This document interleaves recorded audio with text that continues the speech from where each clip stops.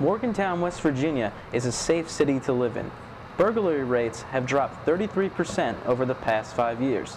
But police say the number of burglaries skyrocket during university-sponsored breaks.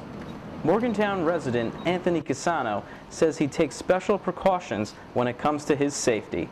Me and my uh, my neighbors, we use like the buddy system. If uh, there's any problems or if we hear anything, we try to check it out and let each other know. Because of the increase in burglaries, Morgantown residents can call the police department and request that their property is patrolled while they are away. Some of the most effective and simple ways of keeping your home safe include locking your doors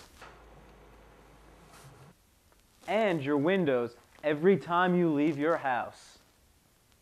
But there are some things you can do to protect yourself, and Casano says he doesn't take any chances when he is away from his apartment. And also uh, with my roommates, obviously we keep the doors locked, we check the windows, make sure those are locked. Like when we went home for break, we had to make sure everything was locked up.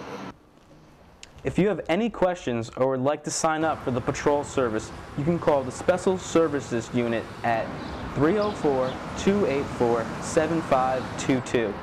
Daniel Matarazzo, WVU News, Morgantown.